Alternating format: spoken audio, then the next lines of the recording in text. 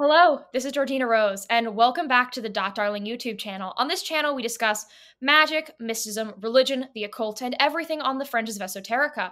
And I'm Georgina, I'm a Thelemite and a ceremonial magician, and I'm also a part time Center of Pestilence. In this video, I'm going to be doing the second interview on this channel, and this is on a topic that I've been a little, I'll just say nervous to touch on, because I've said before that Thelema isn't satanic, Thelema and Satanism are not the same. And Thelema and Satanism are definitely not the same. But I think when you're researching Thelema, a lot of people have that like nagging thought. They're like, is this Satanism? How does this relate to Satanism? Or people who are Satanist uh, hear about Crowley and they're like, how do I relate to that? Where does that fit into my picture? And so I wanted to bring on someone who is actually versed in both Satanism and Thelema. If you're not familiar in either what Satanism or Thelema is, I have videos on my Occult 101 series explaining both of those. So if you want a quick explainer, click into those watch those. They're about like 15 minutes long, and then come back here. Uh, and I've brought on Lynn, who I am so excited to have on. So, Lynn, can you sort of introduce yourself and say how you relate to this topic and let people know where to find you?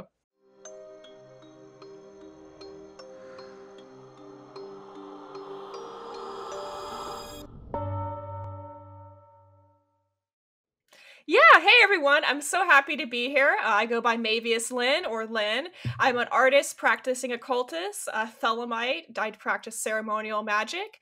Um, I've been a practicing occultist for over a decade now. Uh, my story starts off actually with the Church of Satan, um, and over the years has progressed to slight involvement with the Satanic Temple, um, and then, of course, eventually um, through my studies and involvement in various occult communities, I came around to Thelema as well. And um, so, yeah, I'm, I'm excited to talk about uh, some of my favorite occult paradigms today. Thank you for coming on. I'm really excited to talk to you. So, I think we got to start off with the foundation, the baseline, the sort of, you know, 101, 101 question. Uh, and that would be sort of what do you think? Do you think Thelema and Satanism are the same? No, absolutely not. Um, you know, it's sort of like saying, is Thelema the same as Wicca, or is Thelema the same as eclectic witchcraft? No, they're they're not the same. Um, but we do see a lineage. We sing, you know, the original founder of atheistic Satanism, or one of them, um, Anton LaVey. He borrowed a lot of elements from Thelema, and we see that throughout his works. But um, they're its own thing, right? Uh, so there is that lineage there, but you know, I, w- I would not say they're the same. Perfect. I just wanted to clarify that because I know the like beginners, that's going to be their big question. But I think that you mentioned the lineage, so I think it gets a little more complex. So how do sort of in that historic context Thelema and Satanism connect? Where do they first merge? Not necessarily like their ideological connection, but like where do they interact in a sort of broader historic sense? Yeah, um, so I would trace that back originally to actually Anton LaVey when he came out with some of the foundational texts, the Satanic Bible, um, and things like that, the Satanic Scriptures, and so forth, where he drew heavily on or you know you could say he basically yanked crowley's magical theory um, within that document of the satanic bible. You saw a strong emphasis on individuality an emphasis on indulgence um, you know, talking about ritual as psychodrama, things like that. But essentially, what uh, this gentleman Anton LaVey came along and, um, you know, popularized, I guess a lot of people would say, atheistic Satanism in particular, and he did that with sort of the strong backbone of Thelema throughout it. So, what are some elements that sort of have stuck from Thelema into the satanic paradigm? Yeah. Um, so one of them, uh, and you see in LaVey's uh, Satanic Bible, he says, "The God you may save may be yourself." Which is a very strong concept in Thelema. We see this over and over again in the Gnostic Mass.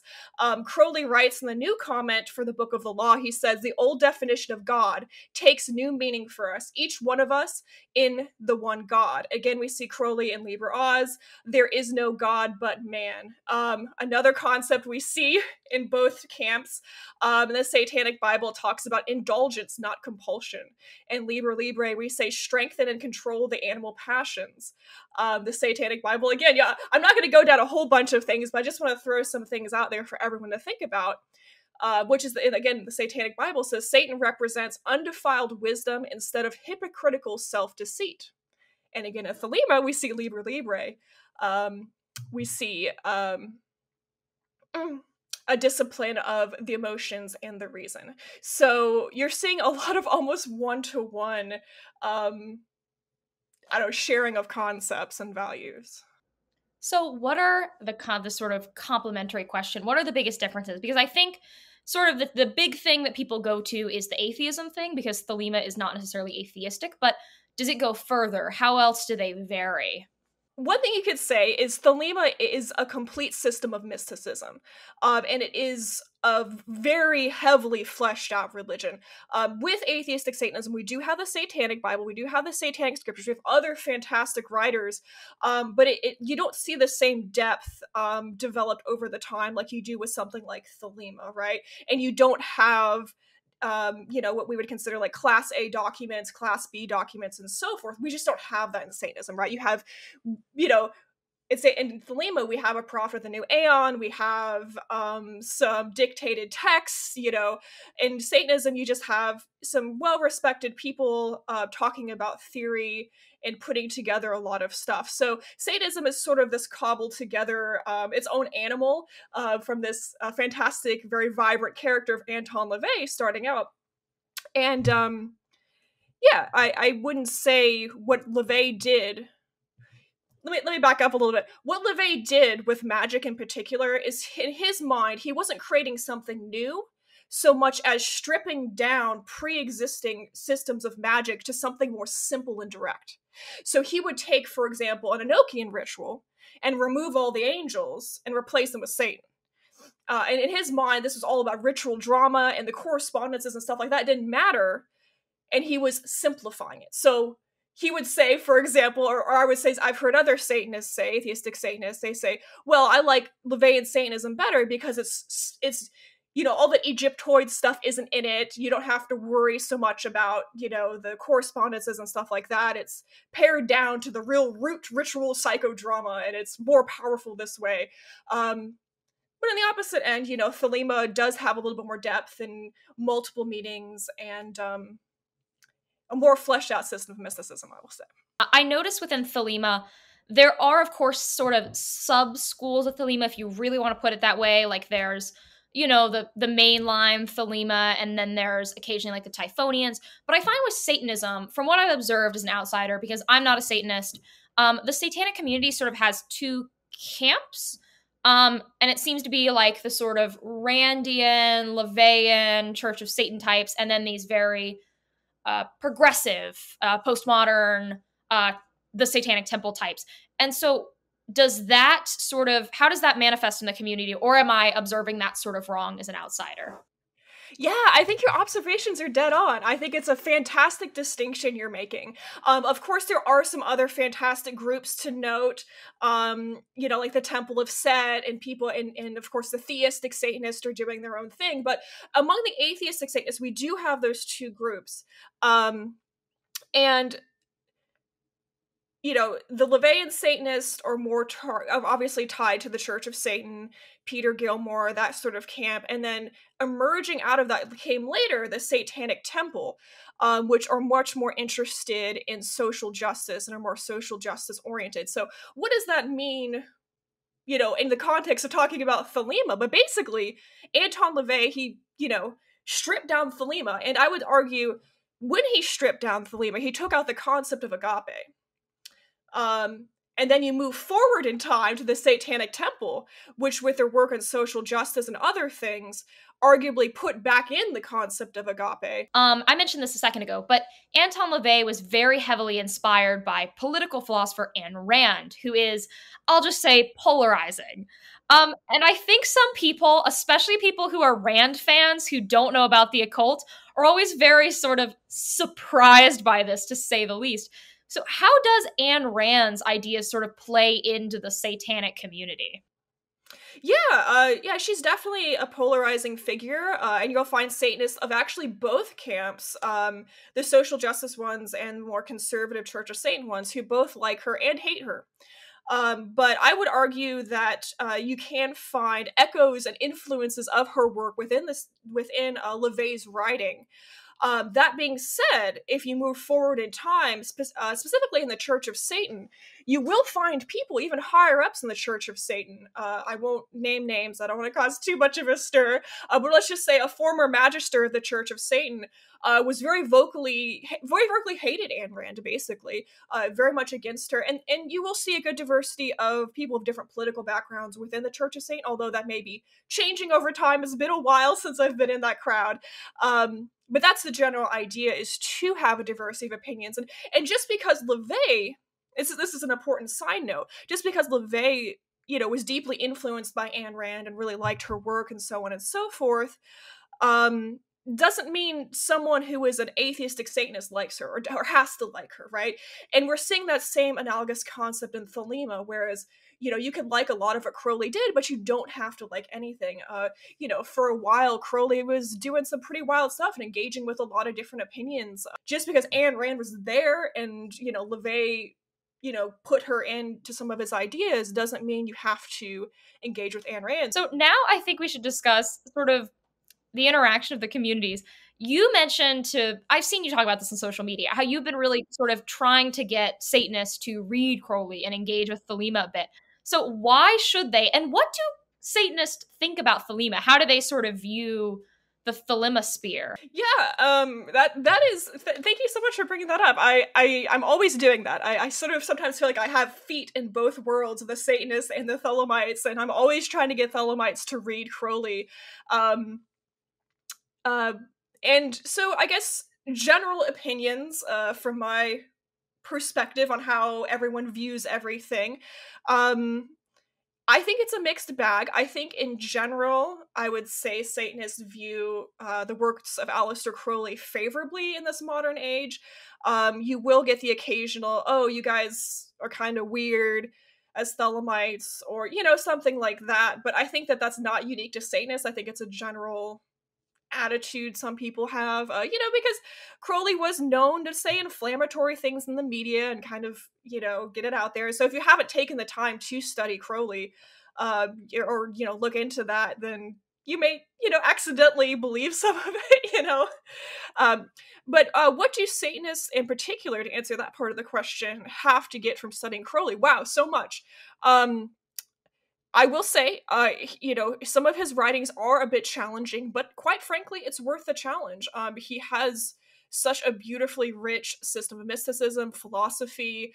Um, you know, if you think about your lineage, what LaVey originally did by paring things down and oversimplifying, I would say over, excuse me, I'll just say simplifying things.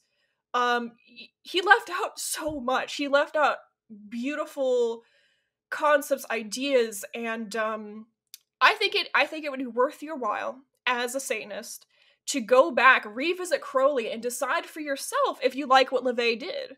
And you you can't have an opinion unless you know what he took out, you know. You, and I think it would be valuable to have that perspective. I appreciate that. Also, yes, Crowley, I think one of the best words that I've heard to describe him, and I think Wikipedia used this term, was social provocateur. Beyond sort of creating the religion of Thelema and having all these, you know, these beautiful rituals, he was a troll he was really trying to push the boundaries of what was believed and what was possible. So, another thing that I wanted to bring up, and this sort of does relate to the philosophies of Satanism and Thelema, one thing when I was thinking about how to compare the two systems was Nietzsche, um, as that sort of, I feel like, intersects with both spears. How do you feel about that? Yeah, absolutely. Um, yeah, uh, Nietzsche was a big influence on LaVey. Uh, also, Crowley. Nietzsche is currently um, one of the saints in the EGC or Ecclesiastica Gnostica Catholica, and um, that is the ecclesiastical arm of the OTO. So Nietzsche plays a role in both camps, and um, definitely worth looking into. So, what is the biggest misconception you see Thelemites having about Satanist?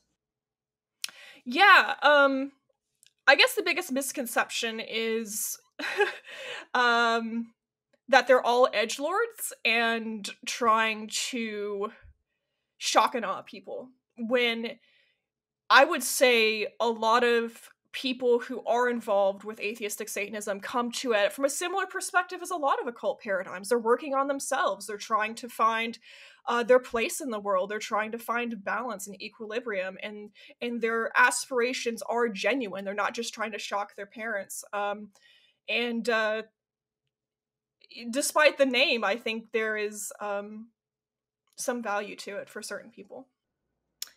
Beautifully put. I think that that is a very common position from Thelemites, and one that I did used to hold personally until I met people like you, and I was like, wait, it's completely not true. And there are, let's be real, some edge lords who like get into Thelema and do the same thing.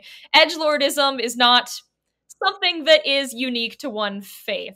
Uh, another thing I wanted to ask you about is because Satanism, as we know, is atheistic, or the Satanism that we're talking about. I, I, mentioned in my Satanism video forever ago, there are other forms of Satanism that exist, but they're very different, so we're not covering them here because it's a whole different can of worms. Um, most Thelemites are definitely not atheist, um, I would say. So, how do you feel like atheism intersects with magic? Because I think that's something that from the Thelemic or even the broader Western esoteric camp is something that seems a little, you know, surprising. Mm-hmm. Yeah, this is the this is the fun part, right? This is where it gets a little weird. This is where get you get. Uh, I guess everyone's gonna get a little bit of my weird perspective on this, which, um, so for, for me personally, and I, I and it, I can't separate this from it being personal.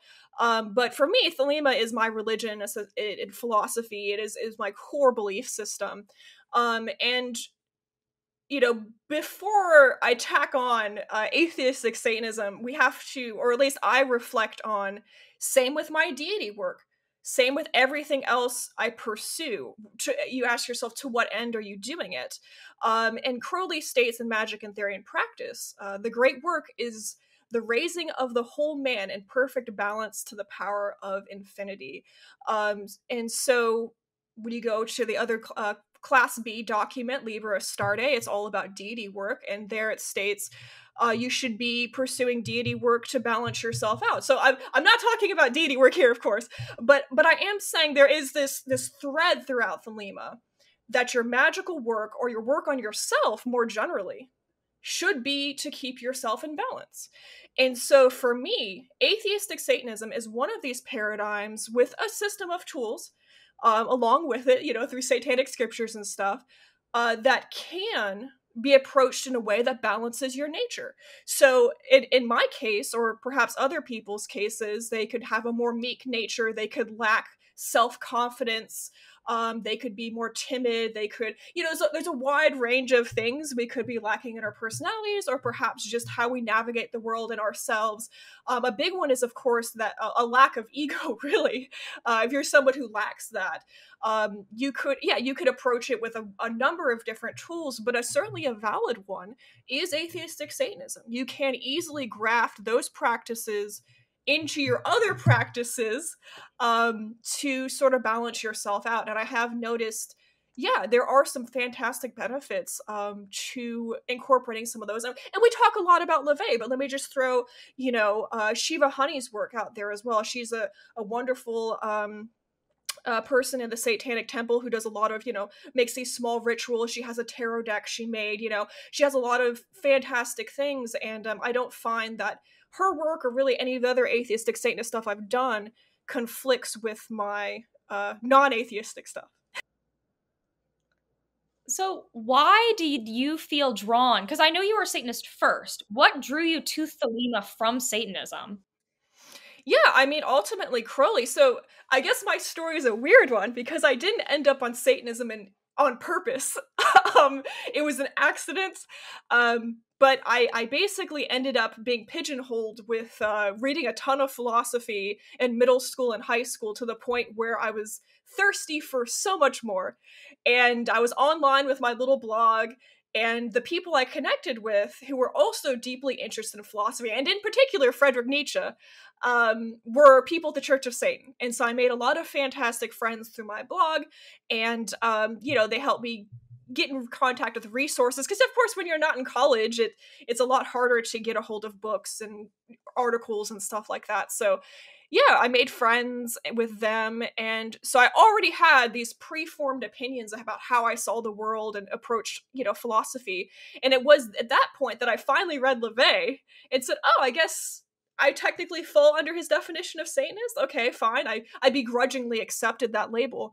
And um, it was in the Church of Satan as I was reading different things that um, a, a dear friend of mine uh, was like, uh, absolutely loved Aleister Crowley. He also, uh, although being high up in the Church of Satan, was previously in the OTO, so on and so forth, introduced me to Crowley. Uh, and so for the longest time, I was just simply a Crowley fanboy.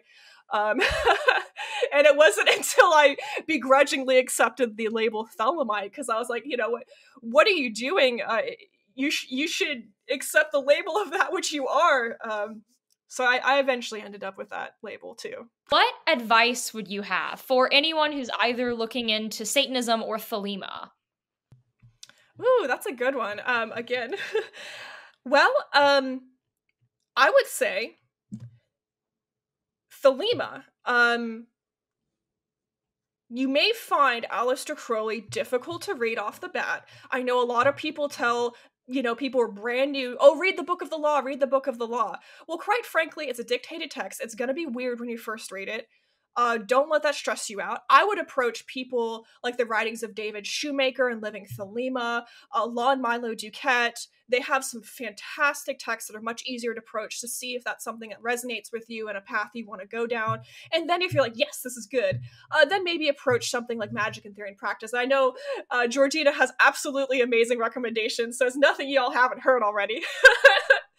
yeah, so I'm just I'm just really repeating that. Um, but uh, you know, Satanists, uh, y'all are going to get some different advice from me, which is don't start with Anton LaVey. And this is always a shocking thing. People like, well, I could just read this the Satanic Bible. I'm like, no, don't. Please don't. Instead, go ahead and read some background on Nietzsche. If you can stomach it, read Nietzsche himself. Um, go ahead and read, you know, um, read Ayn Rand, make up your own opinion about her. Um, read things that influence LaVey.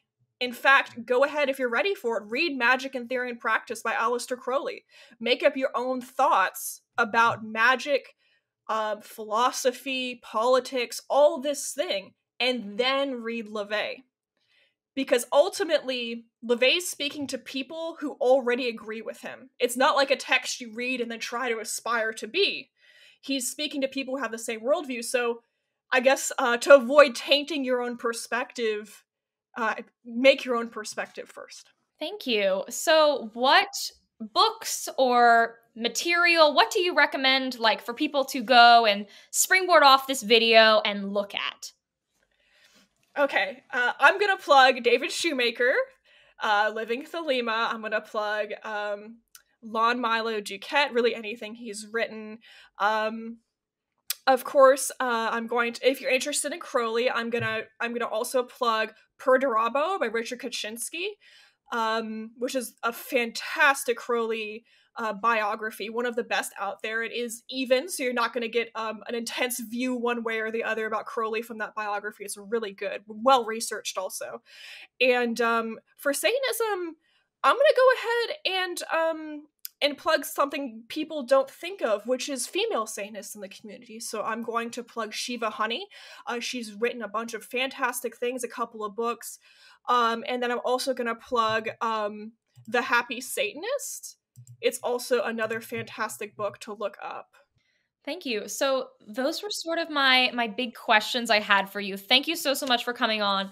This is a subject I have wanted to brace for a while and I thought bringing on someone like you would be the perfect thing to do. And I love your work. I think you do really great stuff. And it makes me so happy seeing other women in Thelema discussing these ideas on the internet. Um, so where is your corner of the internet? Where can my people find you and support you and learn more about what you have to say? Yes. Oh, thank you so much. I just wanted to say it was such a joy and pleasure to collaborate with you on this. Of course, I always love the content you make, and uh, it's such a joy to support you and be on this channel.